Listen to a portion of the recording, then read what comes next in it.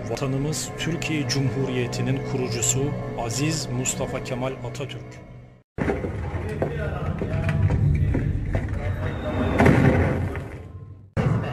Bir tarafta askerler hayatını kaybederken öbür tarafta da hayat almaya devam eden askerler var.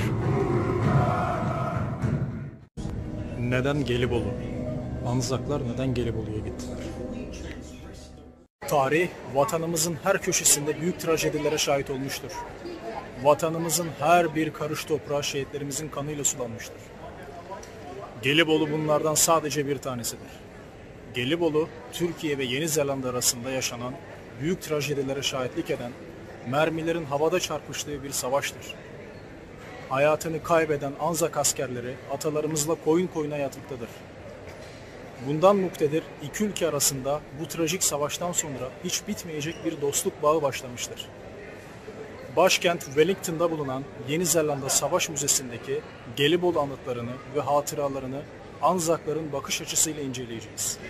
O halde başlayalım. Müzeye girdim. Karşıma bir Anzak askerinin bal mumu heykeli çıktı.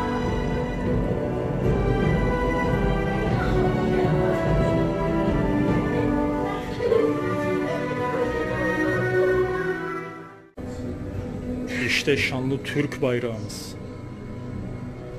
Ve vatanımız Türkiye Cumhuriyeti'nin kurucusu Aziz Mustafa Kemal Atatürk ve 1915 yılındaki Osmanlı toprakları.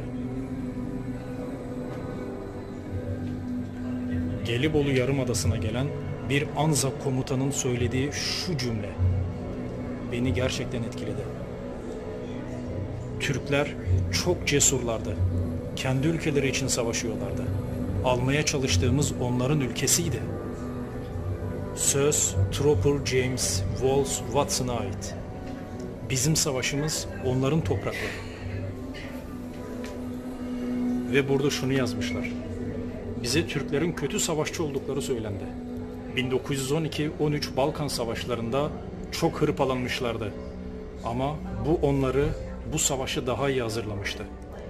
Karşı karşıya olduğumuz Türkler savaşı sertleştirdiler. İyi itilmişlerdi ve iyi yönetildiler.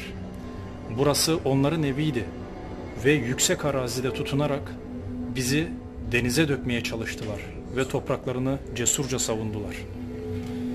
Bir kez daha aziz şehitlerimize, gazilerimize, Mustafa Kemal Atatürk'e ve silah arkadaşlarına ve vatanımız için emek harcamış tüm yurttaşlarımıza şükran borçluyuz.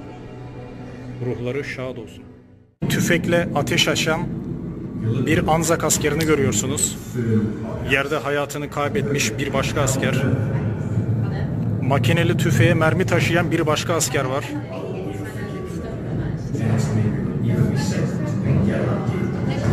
Bu da savaşın bir başka gerçek yüzü. Bir tarafta askerler hayatını kaybederken öbür tarafta da hayat almaya devam eden askerler var.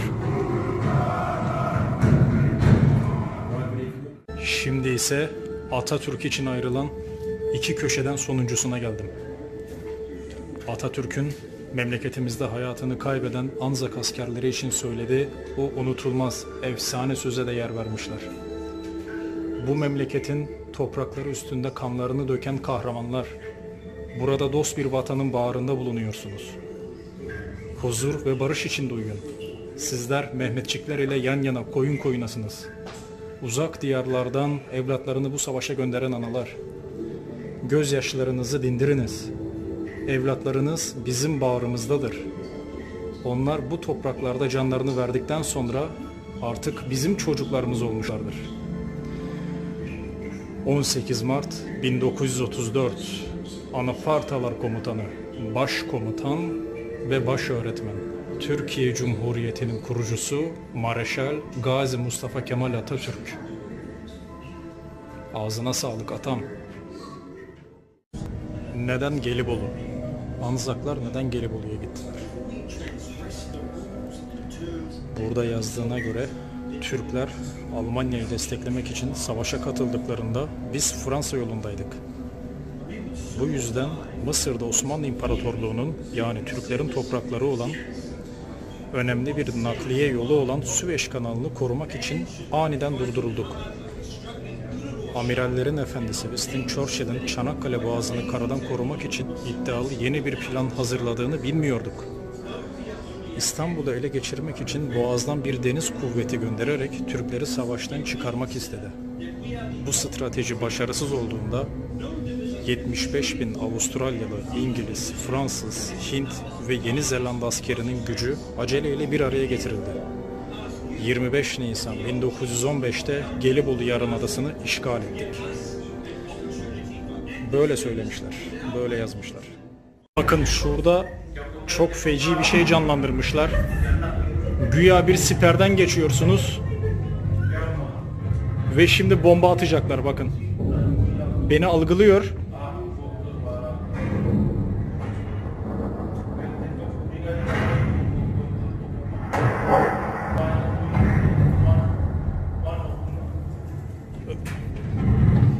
Bakın bir asker geçiyor.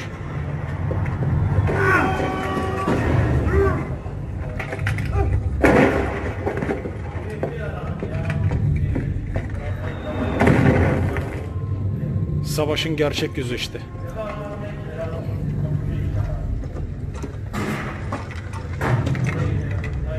Bu da bir Türk askeri. Canım benim. Hayatım benim ya. Arkadaşlar.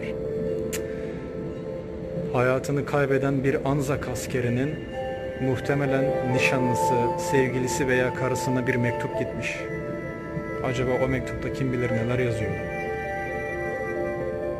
Aa, galiba hayatını kaybetmiş Gelibolu'da.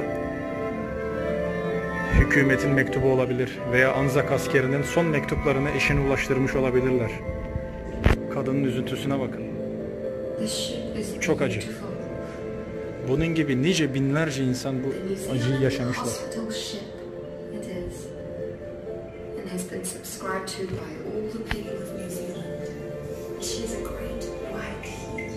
Bir hemşireymiş kendisi. Bakın burada daha detaylı okuyabilirsiniz.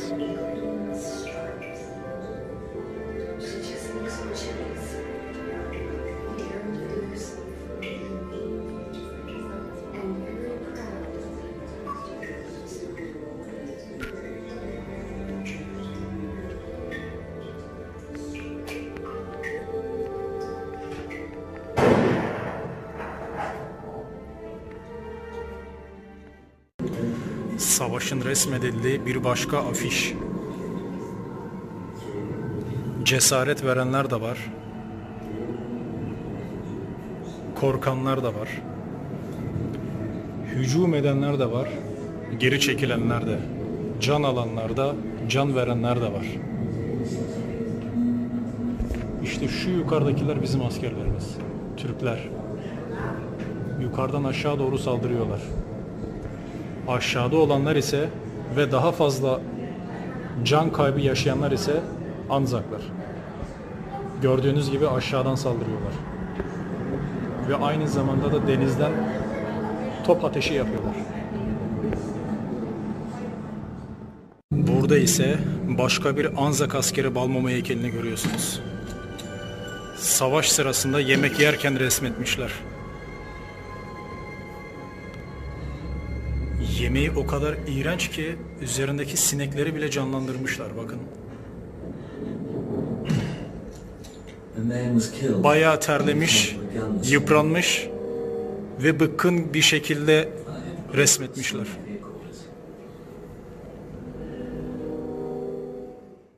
Savaşta 86.692 Türk askeri şehit düşmüş. Britanya'dan ve İrlanda'dan 21.555 asker. Fransa'dan 11 asker.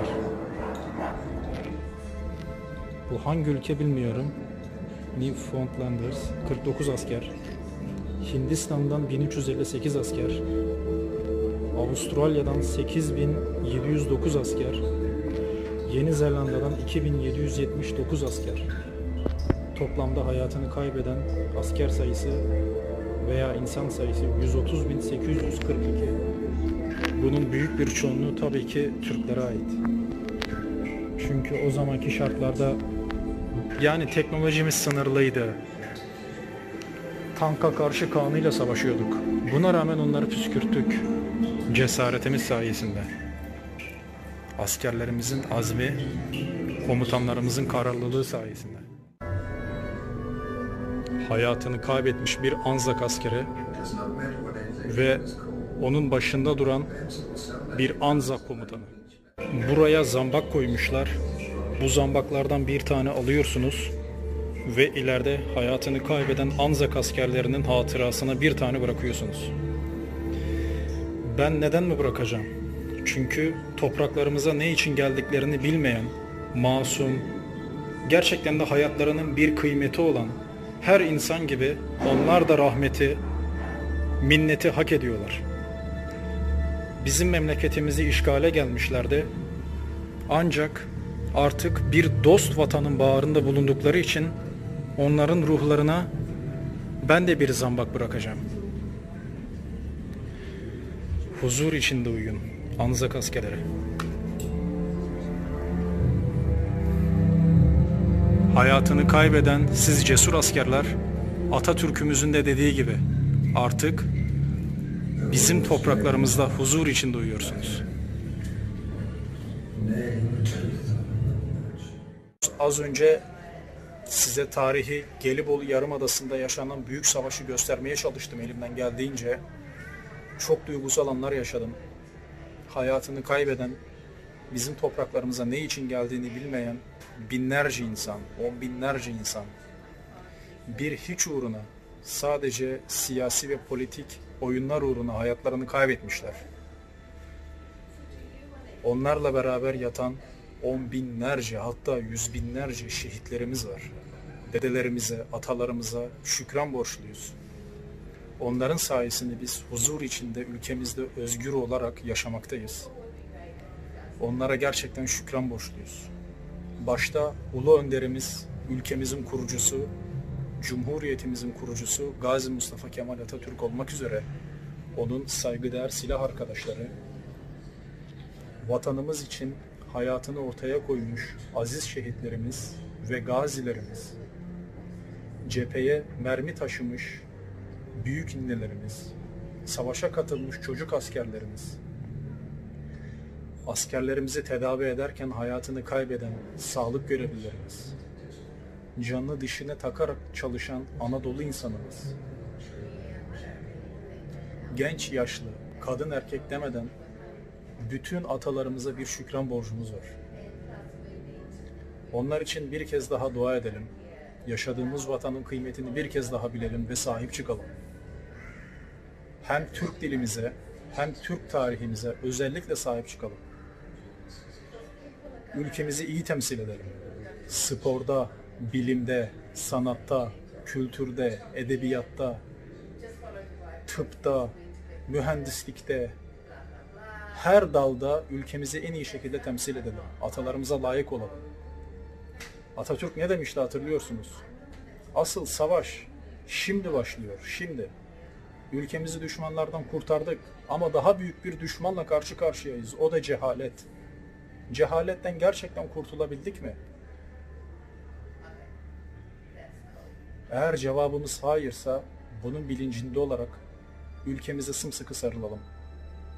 Kimseye yabancılara kaptırmayalım.